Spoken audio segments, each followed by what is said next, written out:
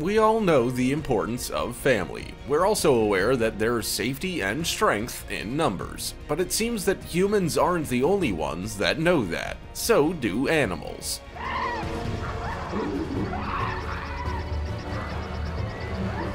They can be strong alone, but even stronger in groups, like these animals, for example. From packs of wild dogs to the complex social structure of elephants, here are 15 unbelievable strong pack animals in the wild.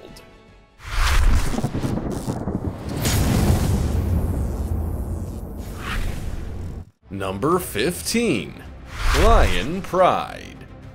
A pride of lions is entirely worthy of mention because these predatory cats do things differently from most others. Think about your average house cat. They hunt alone, and so do most predatory cats. For the most part, lions don't. Some may travel or hunt alone or in pairs, but they also mostly live in prides. The structure of those prides can differ between Asian and African lion subspecies. Most consist of about 3 males and up to 10 females, along with their young. However, there have been prides with up to 40 members spotted. Could you imagine living with 40 family members? What a nightmare. Asian subspecies sometimes operate a bit differently. They often live in gender-specific prides, with males and females only coming together when it's time to mate.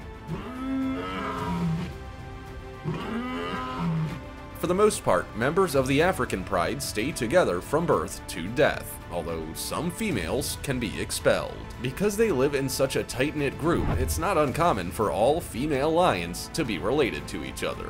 Male cubs are a bit different though. They'll stay with the pride for about three years before leaving to form a new pride or take over another. Before we go on, like this video, smash the subscribe button and click the notification bell right now, or this centipede will crawl on your face when you're sleeping. Number 14 Hyena Clan if you're gonna compare your school's social groups to any animal species, then it would be the hyena. The two probably have more in common than you might think, and even the same levels of drama. Hyenas form clans of up to around 100 members, with all those members part of a complex social hierarchy. Females are at the top of the pecking order, possibly due to their levels of aggression compared to the male, who tends to be a little calmer. Male hyenas will leave their clan after puberty in search of a new one. In that new clan, they'll become the lowest ranking member, even lower than the offspring of any females in the clan. But because they can add diversity to the group, they often stand a better chance of getting the ladies. The hierarchy of the average clan is quite complex, almost like a political party. There's the highest ranking matriarch who has a few matrilineal kin groups underneath her. In most situations, the older the female, the more powerful she is in that group. Number 13.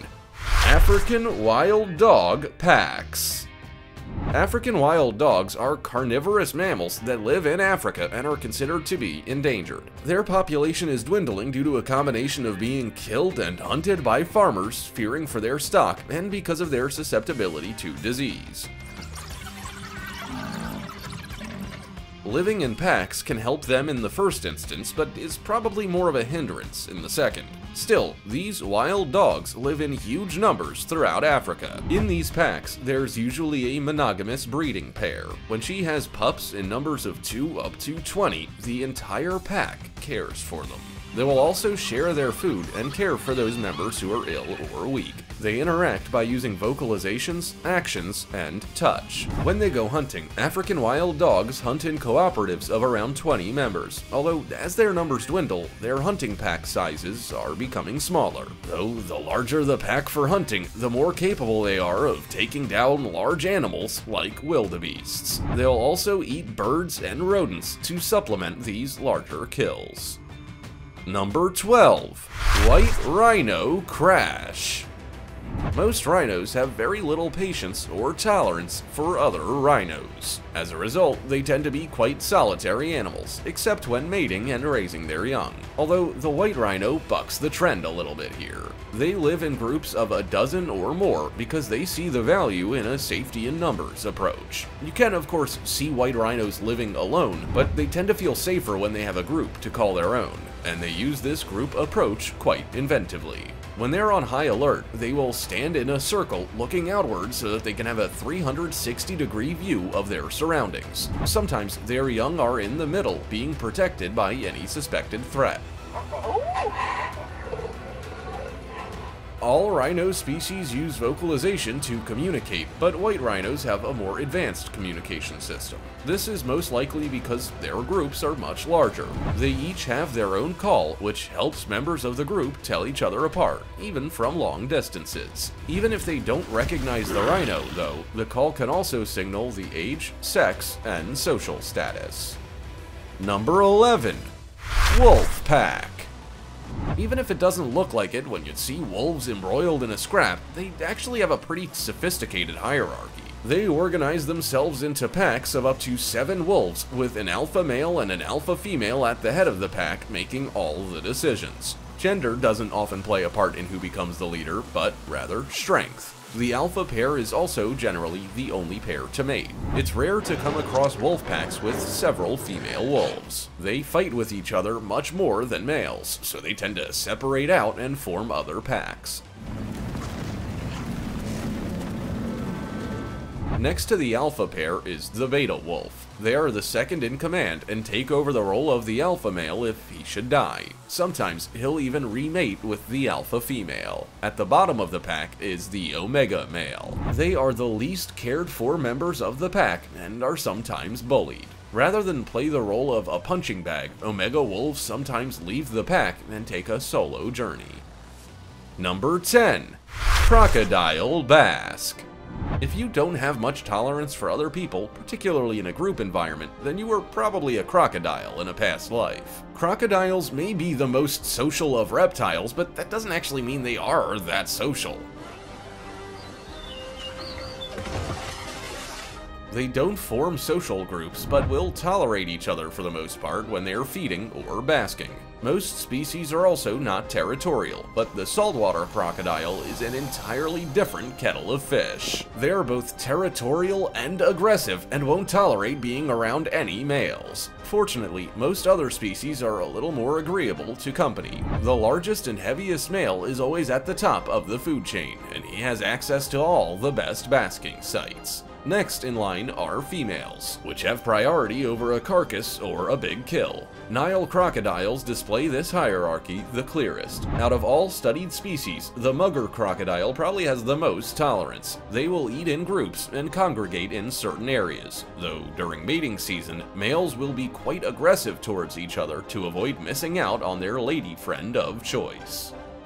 Number 9. Cheetah Coalition Cheetahs have quite a complex living arrangement. But you could probably describe it as being quite normal compared to how some other animal families operate.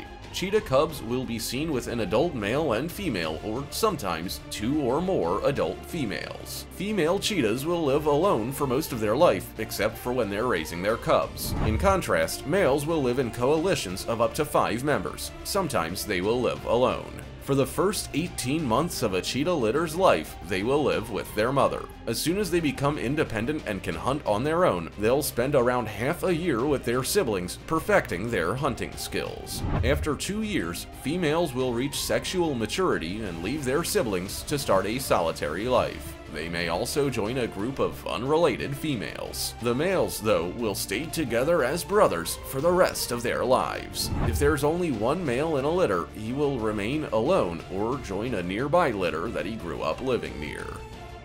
Number 8. Elephant Herd you won't find too many researchers who aren't impressed by the social structure of elephants. Even after years of research, they continue to be surprised and amazed by how complex their family dynamics are and how differently the males and females live their lives. females will mostly spend their entire life in the same herd. Because of this, most females in a herd are related, such as siblings, mothers, aunts, and sometimes even grandmothers. Most females in the average herd are also incredibly social. They will help each other to cool off in the hot sun by spraying water, dirt, and mud onto each other's backs, just like how we, in our family units, rub sunscreen on each other's backs. Even if some females leave the herd in smaller groups for a fresh start, they won't forget their roots. Their incredible memory allows them to interact positively with members of their old herd if they happen to see them again. In contrast, males tend to live alone unless they're looking for a mate. By the time they turn around 14 years old, they start venturing out from their herd more and more until they simply don't return. Some go on to live alone or join bachelor herds of male elephants. Number 7. Red-Bellied Piranha Shoal if you've ever seen the horror movie Piranha, then you've probably formed a few ideas about what the average red-bellied piranha looks like. You may imagine them traveling in big, vicious groups, devouring everything they find, even humans, within seconds. But surprisingly, most things you know or think you know about this fish are probably wrong.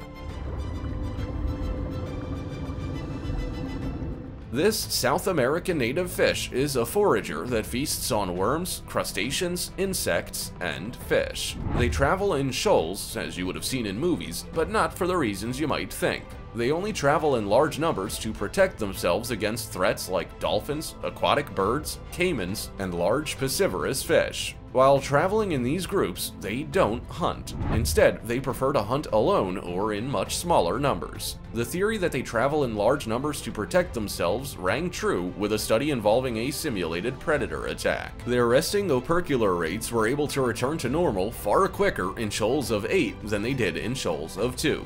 That shows that they feel much safer in larger numbers than in smaller numbers. Number 6. Bird Flock you would define a flock as being a group of the same animal species living together.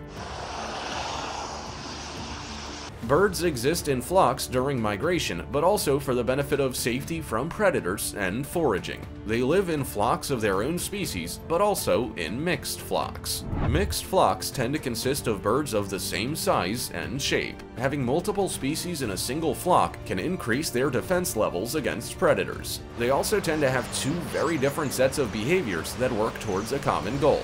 These are called Sally and Gleaner. A Sally is a bird that will guard the flock and eat prey in the air while flying. Gleaners will consume prey that lives within vegetation. Living together decreases the chance of an attack by a predator because, well, safety in numbers. Living, foraging, and traveling in flocks also means they can share information. When they go out hunting for food, some members of the flock can alert the entire flock to the presence of a food source. However, there is a social hierarchy, so the subordinate birds may miss out on something to eat.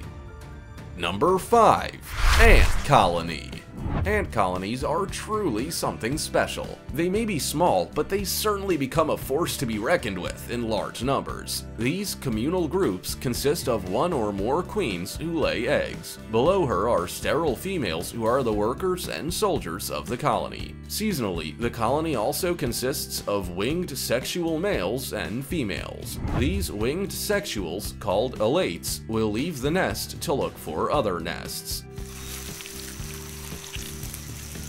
However, the males die soon after, along with most of the females, although a few will survive to start new nests. The size of an ant colony is incredibly important to the survival of it. The numbers affect how they defend it, how they mate, their physical appearance, and how they forage. A colony can be as small as a few ants calling a twig home, or as large as a super colony with millions of workers, almost like comparing a village to a city. The size of a colony can also change with the seasons. In the summer, it can have as many as 300 workers, but then over 2,000 of them working for the queen ant in the winter. Number 4. Plains Zebra Dazzle Plains zebras live in groups called dazzles, and these are closed family groups with a single stallion, several mares, and their offspring. While they tend to be nomadic animals, they also have a home range. The two locations can sometimes overlap. How these dazzles form is truly quite remarkable. A stallion will go out and either form or expand their harem by recruiting young mares from the harem in which they were born. Even when that stallion leading a dazzle dies, the stability of the group remains. Although this isn't the only social structure in existence, these family harems are common, but plain zebras can also live in a fission-fusion society. They gather into large herds and create subgroups within that herd. Individuals can also interact with zebras outside their group. Females in either group benefit significantly from the social structure. Males give them plenty of time for feeding while also protecting them and their young from the harassment of outside males and predators. But that's not to say it's all teddy bears and rainbows. Females form a dominance hierarchy within their groups based on how long they've been in it. The oldest member and her offspring are of course, the highest ranking members, followed by those that joined next, and so on. Number 3. Hippo Bloat. Groups of hippos, or bloats as they're also called, are quite unique. While they tend to live in groups of around 10, it's not uncommon to see them in large numbers of about 30. However, some have also been seen in bloats as large as 200. The herd consists of several adult females and males, but there's only one dominant male. He can mate with any or all females in the bloat, but he does let subordinate males into the herd to mate with some of the females as well. That's not to say he doesn't show them who's boss, though. He reminds them that he's the group leader by flinging his dung as far as possible. Imagine doing that in our society. But not every hippo will get the hint, and fights do break out. Typically, when rival males meet, they will stand with their mouths open as wide as possible, nose to nose. This process is called gaping and is essentially how they size each other up. Eventually, the smaller male will retreat, but that is not always the case. If they get into a fight, they use their tusks and swing their heads around like giant meaty sledgehammers while bellowing. Number 2. Giraffe Tower. Groups of giraffes are called towers, which is hilarious when you consider how tall they are. These towers can consist of up to around 20 members, or sometimes as many as 50. Unlike other animals, though, their social ties aren't very strong. They will come and go as they please, and any member can leave at will. The strongest connection tends to be between a mother and her young. Some giraffes are more social than others, so the less social ones will often go out on their own before long. Although females are definitely more social than males. They tend to gather in towers of up to about a dozen members. Males are not often part of these towers unless they are still with their mothers. You could almost call these towers nursery groups because the mothers all take care of each other's babies while they go out to eat. Males operate differently. When they are old enough to leave their mothers, they will form bachelor herds. They play with each other, interact, and eventually form a group with a dominant member. Hilariously, they neck wrestle wrestle, kind of like a version of arm wrestling, to find out who's the toughest and can become leader. Number 1. Baboon Troop Baboons live in hierarchical groups of between 5 and 250 members, depending on the time of the year and the location. How these troops are formed can also depend on the species, as Hamadryas baboons and savanna baboons can operate a little differently. Hamadryas baboons have quite large groups with many small harems consisting of four females and one male. They may also have a younger male, but they won't mate with any females until the older male is removed. This is probably because the males become incredibly jealous and controlling over their females. Point where they'll actually grab and bite females that attempt to wander too far away. That doesn't stop other male baboons from coming into another harem to steal a female, though. Often, this results in aggressive fights and babies being taken as hostages or used as shields. If the outsider male wins, it's called a takeover. It all sounds vicious and awful, but there are nice moments too. Baboons are incredibly social and will comfort and support each other when they aren't squabbling or fighting. They definitely aren't sharers, though. They collect and eat their own food, rather than sharing whatever they find. If you're like me, you probably wouldn't approach most of these animals by themselves, let alone in groups, and that is likely what they're aiming for. Have you seen any groups of animals before? How did you react? Also, check out our other cool stuff showing up on screen right now. See you next time!